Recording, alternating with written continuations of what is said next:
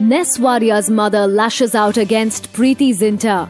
Maureen Wadia calls Preity's complaint about her getting molested by her son in bad taste. She could have been Preity Zinta's mother-in-law, but Maureen Wadia, mother of Ness Wadia and the matriarch of the Wadia family, has publicly lashed out against Preity Zinta for lodging a complaint of molestation against her son Ness.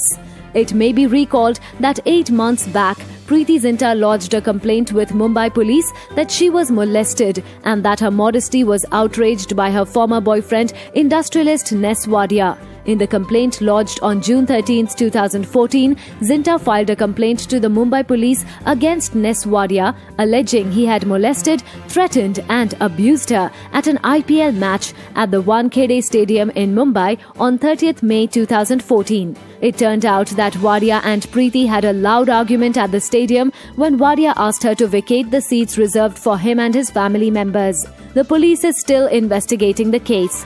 In the exclusive No Holds Bar interview, Maureen Wadia states that they are a close knit family and are low key. She says that her husband is the lowest key in the family because if anyone could produce a photograph of Nasli taken anywhere, it would be a coup.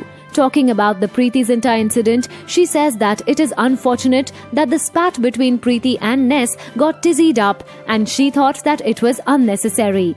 She further says that she has no comment on it except to say that she thinks that it was in bad taste. So, what kind of a bahu does Maureen Wadia want? Her answer will definitely tell you that she doesn't want anybody like Preity Zinta. According to Maureen, an ideal bahu has to learn if she doesn't know it already. She says the first thing that she wants from a bahu is that she has to respect her in-laws as much as she respects her own parents. She says it begins with respect and mutual warmth and love, then there cannot be any relationship without that. We are sure that the word has traveled to Preity and she is aware of what is happening around her.